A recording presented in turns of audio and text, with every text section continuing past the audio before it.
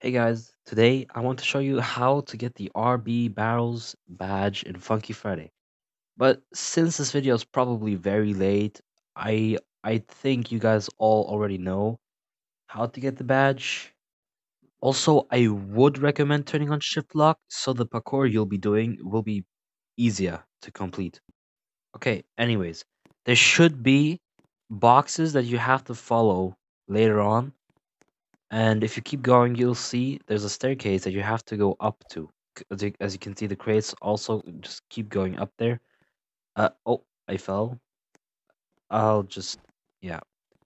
And as soon as you're at the top, you'll see a ladder that you have to climb up to.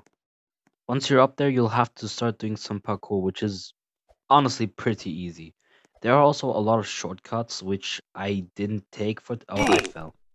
As I was saying, there are some shortcuts you can take, but I didn't take the shortcuts in this video. First, I don't know why I didn't, but yeah, I guess I'll just add a time lapse to this.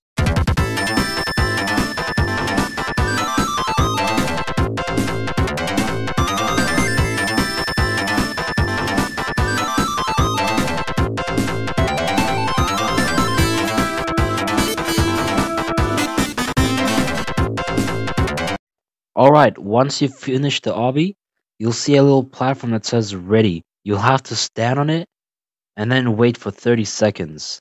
Once the countdown finished, you'll start loading and then you'll have to start playing the game. And honestly, it's not that difficult, but if you're new here, then it's probably going to be quite a challenge for you. Three, two, one,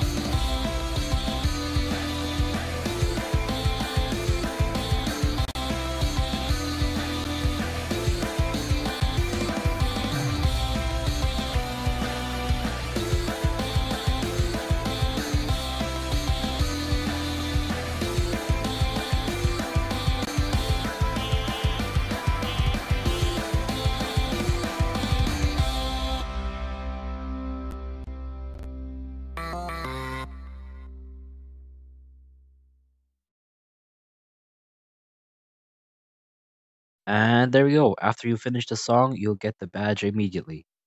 Well, I mean, not imme- immediately, but like maybe two, three seconds delayed, or I don't know.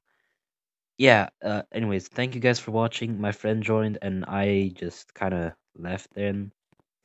Well, I mean, not, really left, but like, yeah. Ah! Watermelon, peanut butter, watermelon, peanut butter, watermelon, peanut butter, watermelon, peanut. What kind of fucking concoction am I supposed to make with